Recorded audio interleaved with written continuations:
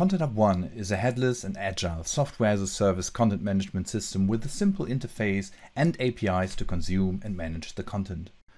But Sitecore offers already content management solutions with XM Cloud, XP or XM. So why do we offer Content Hub One additionally? In today's world, consumers interact with brands in multiple channels. The number of channels has massively increased over the past years, and in order to be present and consistent in each channel, central maintenance is key.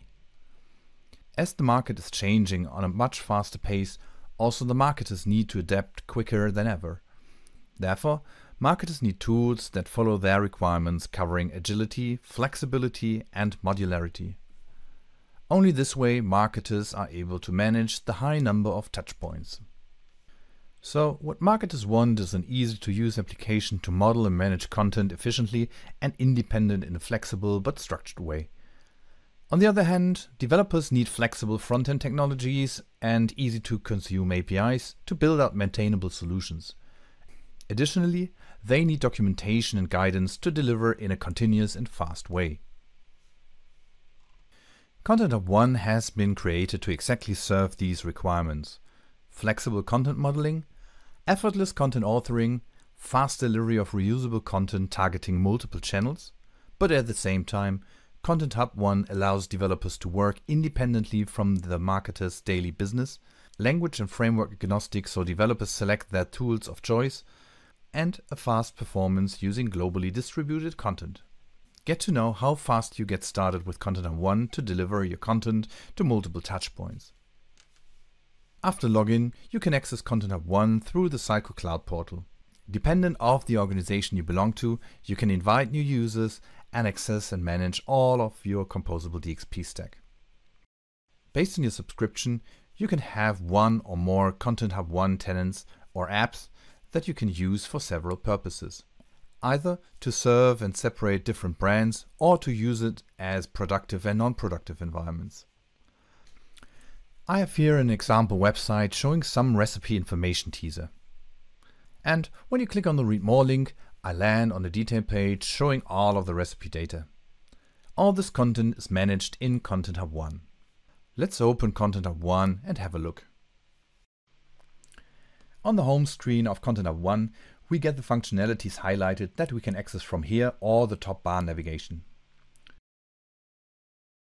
Further down, we get a hint on how to install the SDK for .NET and JavaScript development. This helps someone new getting started very quickly, no matter if the user is a developer or a marketer. At the bottom, we have a list of the last updated content for quick access. On the right side, I can invite new team members. This links to the Sitecore Cloud Portal functionality. We can directly access the documentation, create a support case from here, or go to the trainings. In the content screen, I can create, update, delete and publish content. The content shown earlier can be found here. If I make a change, save and publish the changes, I can see the changes on my website. So let's create a new recipe. Therefore, we need to click on the Add Content button and select the content type we want to create. In this case, recipe. We want to create a recipe for a caramel cream latte. It takes 10 minutes to prepare and you need to follow these steps. As ingredients we have coffee beans, water, cream and caramel. Let's not forget to give this item a name so we can identify it easier later on in the content list. And save. The image needs to be managed from the media section. In here I can upload, delete and update new images. I'm going to upload a new image for my recipe. The media file is a predefined content type that can hold an image. Additionally, you can maintain the name, which got preset by the file name, and a description. Let's just publish the image for now and go back to the coffee recipe.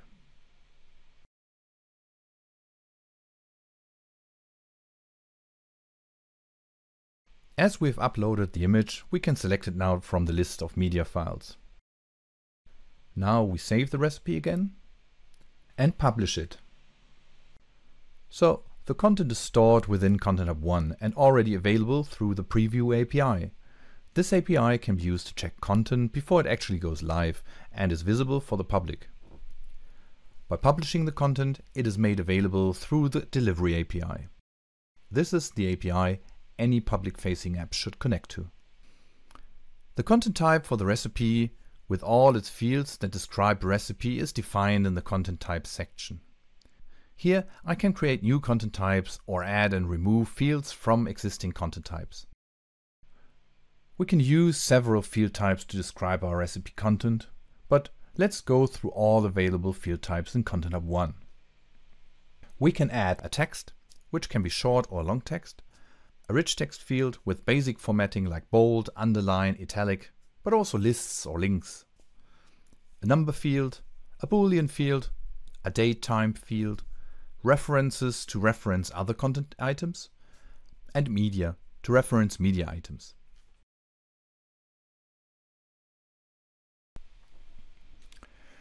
In the settings section, we can generate API keys that can be used to authenticate our apps with the APIs offered by Content Hub One. In order to generate an access token, you need the client credentials that you can also find in the settings section. After calling the API to authenticate, you can use the access token to query the Edge endpoint using the GraphQL IDE or the Swagger API. By using Content Hub One, the SaaS headless content management offering by Sitecore, you can manage content centrally and use it in multiple channels in a consistent way. This can be a website, a mobile app, a printed catalog, a kiosk, an online shop or anything else where you require content.